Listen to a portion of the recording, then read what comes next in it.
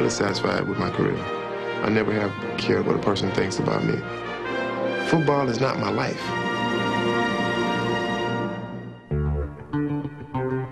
I'm trying to hang on to 49 as long as I can, but um, they got me, I must say.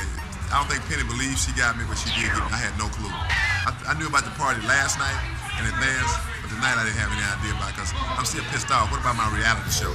I'm thinking about all this money I'm finna count from all this stuff. This is easy money. Wham! One reason he's in the Hall of Fame.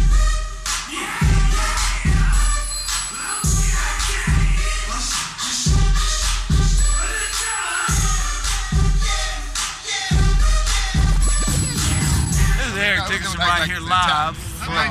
I just sit. I just sit down. The greatest Eric Dickerson. I We call him. Just, the ED man, I've never seen that shot before. Mm, the Hall of Famer, class of Where you 99. get that from, Dick? And Mike Fisher and I are also in the Hall of Fame.